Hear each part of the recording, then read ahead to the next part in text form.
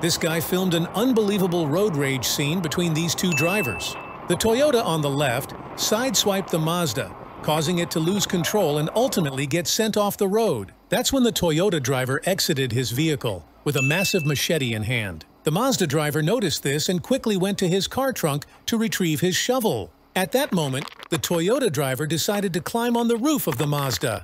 However, due to the weather conditions, it was rather slippery and he fell down. As soon as that happened, the Mazda driver took his chance to chase the guy away with his shovel. The machete-wielding man laid on the ground for a couple seconds before getting back up and threatening the Mazda driver. The cam driver never got an explanation as to what happened. However, he gave this footage to the Mazda driver so that he can provide it to the police.